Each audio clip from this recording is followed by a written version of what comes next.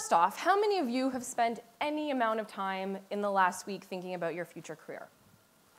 Yes. Asking yourself things like, what am I going to do when I grow up? What is that job going to be? How am I going to get that job? Is it going to pay well? Is it going to be stable?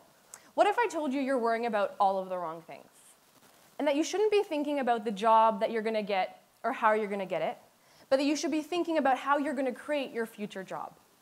So as technology is starting to increasingly take over jobs and automation is, is, is a, a real thing, with that is an increasing opportunity for each and every one of us to carve out a new space, to create a new role for ourselves, to create our future careers. So meet Lauren. Lauren's 11-year-old girl from Calgary, and she's started a company called Robots Are Fun. So she's taken workshops with us at Girls Learning Code, learning anything from game making to web making to wearable technology.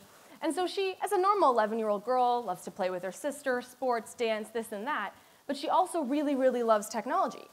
And she realized through talking with her friends that they didn't understand how computers worked or how robots worked or how games worked. And so she's created this company that operates in Calgary, is a thriving business, teaching other kids like her and teachers how to introduce them to technology. So this girl is not even in high school and she's an entrepreneur. Meet Nancy. Nancy came to Ladies Learning Code in 2012, the degree in music, really struggling to find consistent work that she really enjoyed. And so she took a workshop with us, a Drupal workshop, um, made a social network for cats, which is not really practical, um, but what it did is it sparked something in her. And so she took more workshops with us, learned to code, eventually took a nine-week boot camp around technology. And so now she, A, teaches people in her own city in Montreal how to code, but B, she works full-time as a front-end web developer, building and, and working on many of the sites that we use every single day. So coding has really propelled her, it completely changed her career trajectory in just a short period of time. Meet AJ. AJ's up there in the top. Um, AJ is a curious kid, like any other. But what AJ is different about AJ, who, who takes a lot of our programs here in Toronto, is that he looks out and he sees problems as opportunities for things to solve. And so AJ has worked with us, learned to code, learned 3D modeling, wearable technology, and he's actually already started to develop and commercialize products in his life. Um, so his first product on his site is this Stacky. It's this um, multi-purpose tool that can allow you to you know, put your laptop on it. You can like practice your balance on it. Um, you know, the idea isn't even as important as the fact that he now has the skills and the opportunity and the means to create products, solutions to problems, and his future career, which I think is pretty cool. Lastly, meet Sophia. She's a 12-year-old girl from Tennessee. And so last summer, Sophia's aunt was hospitalized after having an adverse reaction to a drug. And so Sophia, like any other 12-year-old girl, wanted, wanted to help. She didn't want that to happen to anyone else. She didn't want anyone else to, to suffer. And so I mean, what I would have done is host a fundraiser or you know, maybe wrote a letter to my local member of parliament. But luckily, Sophia was learning how to code. And she was actually pretty good at it. And so what she did instead was to create an algorithm which is basically like a fancy word for a recipe for computers. She created an algorithm that would help doctors diagnose before prescribing medication whether or not a person would have an adverse reaction to it. And so my story, I mean, I'm not making any medical breakthroughs, and I probably won't, um, but my story is not unlike these and the countless others we see through our programs. People who are using technology to create opportunities for themselves. So in 1999, this is a little bit later than that, but in 1999, when my family got its first computer, I was hooked. I loved building things, I loved solving problems, so I spent two entire summers, my sister's here to vouch for it, two entire summers doing nothing but building with, with the computer, building websites and games. And if you would have asked me at the time what I was doing, I would have said, eh, you know, making a Harry Potter sorting hat website or a blog for my friends at school. But at that time, something really transformational was happening, and I didn't even realize it. And so technology really stuck with me. I didn't pursue it as a career. I went to business school at Ivey. I went into accounting. Um, but it had always stayed with me through my extracurriculars. I was building websites, working on programs. And it stayed with me when I actually ended up quitting my job in accounting to pursue something else. I wanted to do something that created impact and, and something that I could own and, and, and build. And so in June 2011, myself and three other women started Ladies Learning Code. We didn't know what we were getting, getting started with at the moment. We, we just knew we wanted to learn to code ourselves and we wanted to be able to build and not just consume technology. So we ran a workshop in August 2011 in Toronto. It was a JavaScript workshop. We were learning how to build a shopping cart online. That workshop sold out in seven minutes. And a month later, we, wrote, we hosted another workshop, and it sold out in 30 seconds. So what that meant, two things. A, harder to get a workshop at Ladies Learning Code than tickets to a Beyonce concert. And B, there was this really intense desire and demand for other people, women and men, to, to learn to code and to build the future. So all that said, what does that, what does that mean for you? What do you need to do to take advantage of these opportunities? How can you create the future for yourselves? Answer for, for me is simple. It's, it's learning how to code. And so code, I mean, what is code? Um, it's this kind of daunting, daunting word, and, and really what it is, it boils down to is it's actually part of something bigger, which is computational thinking, which also might be a terrifying word. Um, but what computational thinking is, is actually really simple. It's how we use and solve problems through technology. So how we use technology to solve problems and how we solve problems with technology. And so coding is a part of that.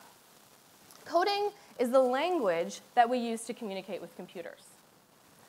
And so if you know, you may know, you may not be familiar with computers, but they're actually not smart at all.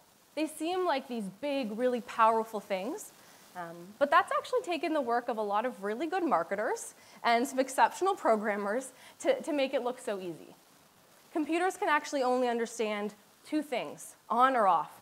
Um, and so what it means is that it's people like us who are the ones who actually build the technology and who empower and impose on, our, on technology what makes them so great. And so technology and coding, you know, it's, it's really, it's a skill. It's a, it's a skill set, and it's something that we as humans can, can shape into use for, for good. and so again, coding, language, a skill, it might seem daunting, but the good news is that many of you are already kind of coding already, or at least thinking about computational thinking. And so have you ever written a formula in Excel, maybe to sum some information? Or, yes, lots of you. Or have you done a find and replace in a Word document for a book report? You know, going to the mall or a new place and you're trying to optimize what the quickest route to get somewhere is. Maybe you're flipping through a book looking for something and trying to figure out the quickest way to find that page um, in a book. Or you know, maybe you have weekend plans and you've got a, a, bunch of conflicting things and you're trying to figure out like how can you optimize your schedule and, and make it all work. And so that's the underpinning of coding. You know, what happens next is translating that into a language that, that computers can understand. And that's where groups like Ladies Learning Code and, and many others in Canada and, uh, and worldwide can help you learn that code. But I think another important thing to, to really emphasize is, is why learn to code. Like, you know, it's important, it can do all this great stuff, but why should all of you do that and how that's going to help you propel yourselves into the future? I think what it comes down to for me, coding here, skip that slide, is, is coding is really a tool. And so you think to fire. Fire is a tool. Fire is fire. And fire is really nothing more than just fire until us humans do something about it. And so if you think back to millions of years ago, when humans were first able to harness and to manipulate, to control, and to move fire. That was an exciting time. That was a huge turning point for us as a society. If you think about that, by being able to harness fire, what that means is that you could live in parts of the world that you couldn't live before. It means you could stay up and work beyond the sun setting. That means we went from six, eight hours a day to 16 hours a day where we could produce and, and be productive. What that means is something so simple as our food that we would have to eat raw can now be cooked, which means things like starches, when cooked, can, can digest better, and we can actually harness so much energy as humans to actually output and produce more. So the opportunity to harness fire was world changing. And I think we're there right now with code. Code on its own is just a tool. It's nothing more than a tool. But it's when us, when humans, start to work with code, with technology, with tool, and we harness it, that's when it becomes a force for change. And that's why I think each and every one of you need to learn to code. Why every single person, maybe you don't become a developer, maybe that's not your future career necessarily, but you understand how technology works so that you can leverage it. You can use it to be the next Nancy or Lauren or AJ. You can create the future opportunities. Is that so critical? And it's critical that each and every one of you participate because technology isn't going anywhere. Every single one of us, we can't go anywhere without, I see technology everywhere around us. And so if the technology that we use every single day isn't built by every single one of us, if our unique creativity, empathy, emotional intelligence, if all of that isn't harnessed with technology and we aren't equally contributing, that's not how we're going to solve the world's problems. And so I think code, again, it seems daunting and it's how do you get started and it's this big thing, but it's really not. It's accessible, it's easy to get started, and the important part is not, again, necessarily becoming a developer. It's starting to understand how this tool can be harnessed, how you can use this tool for social change. And so I think about the questions I asked at the beginning, thinking about what kind of career you might have, what kind of job you might do, what you might do at that job. And I really urge you to flip that. And I urge you to think about what problems do you want to solve? How do you want to harness code for change? What tools do you want to use? And ultimately, how do you want to change the world? Thank you.